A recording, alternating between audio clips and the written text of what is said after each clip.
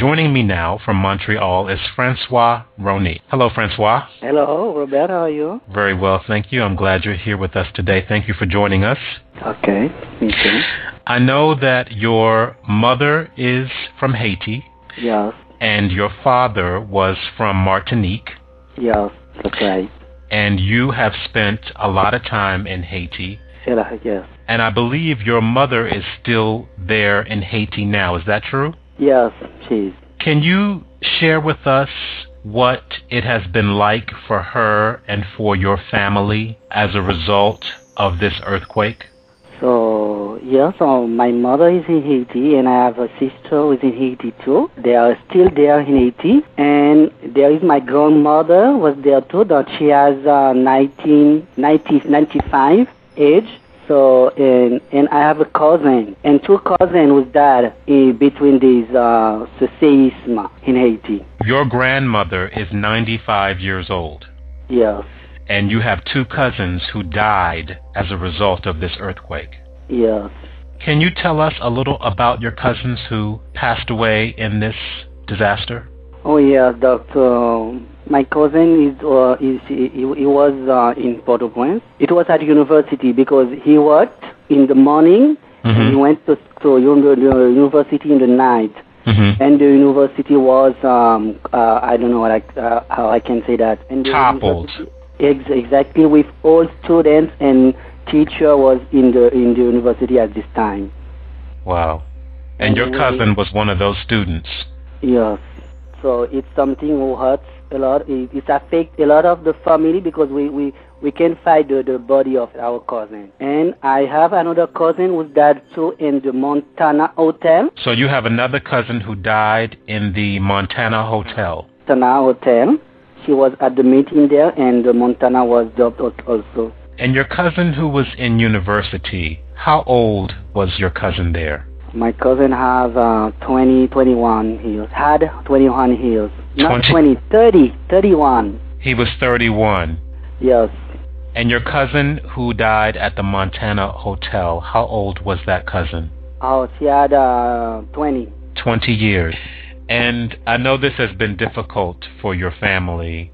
Yeah, very difficult. And now my mother and my sister, my godmother, they are out uh, of the, the, the house. So they are now outside of Port-au-Prince. No, yes, they are they are leave Port-au-Prince to go to Milagran, but and they're still outside the house. They are, can't sleep in the inside the house. So even in the neighboring city where yeah. they where they are, they cannot sleep in their no. house. No. So the they house was black.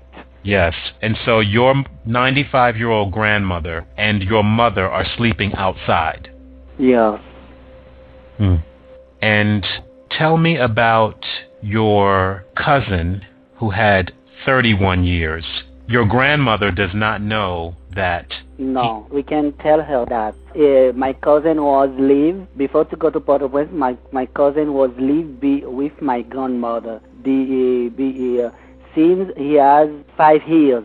He lived with your grandmother for five years yeah, before yeah. he went to Port-au-Prince to go to university. Exactly. So, so they were very close. Exactly, they were very close. It's for that we can't tell her that because uh, she can die. Yes, you and your mother and your family are afraid to share with her that your cousin has died because she is 95 and you're afraid of what that news might do to her. Exactly. I understand. And how has this affected you? I mean, you are in Montreal now, you live in Montreal, and your mother is in Haiti, very far from you in Montreal. How are you handling your feelings about this earthquake? I'm very sad and affect a lot of. Yes. It hurts me. And is, do you think you will ever tell your grandmother that your cousin has died? If I intend to tell her that? Yes. No. No, I don't want to lose my grandmother now. I know if we tell her that, she gonna break. She gonna make a, I don't know. We can lose her because she loves my cousin. And what was his name, Francois? My cousin? Yes. Jean-Marc. Jean-Marc. And can you tell us a little bit about Jean-Marc? What kind of person was he? Jean-Marc, he was a, a shy guy. He was very shy. Mm-hmm. And wow, it's very, very, very, very difficult to talk about him. I understand. Can you tell us what he was studying at university? He was, he was just studying about telecommunication. Telecommunications. Well, Francois, thank you so much for talking to me about this. I know it's not easy. It's more than a news story for you. This is your family. Exactly. It was a pleasure for me to, to talk about my family and my country that I love a lot.